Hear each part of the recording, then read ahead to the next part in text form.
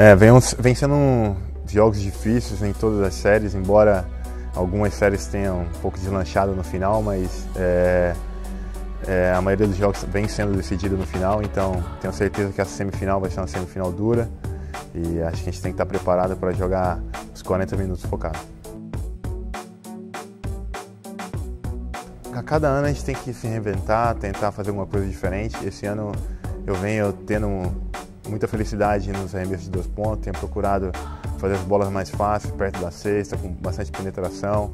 A gente tem um time também todo reformulado, então a maneira de jogar mudou muito, então acho que se deve a isso, a essa crescente número de dois pontos.